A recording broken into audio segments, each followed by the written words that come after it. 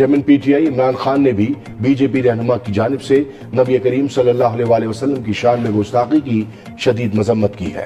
उन्होंने कहा कि मोदी हुकूमत जान बूझ कर भारत में मुसलमानों के खिलाफ इश्ताल अंगेजी और नफरत की पॉलिसी पर अमल पैरा है। उन्होंने कहा कि ओ आई सी को मोदी के भारत के खिलाफ सख्त कार्रवाई करनी चाहिए, क्योंकि अफसोस से कहना पड़ता है कि अब तक भारत को इस्लामोफोबिक पॉलिसियों से फरार इख्तियार करने का पूरा मौका दिया जाता रहा है।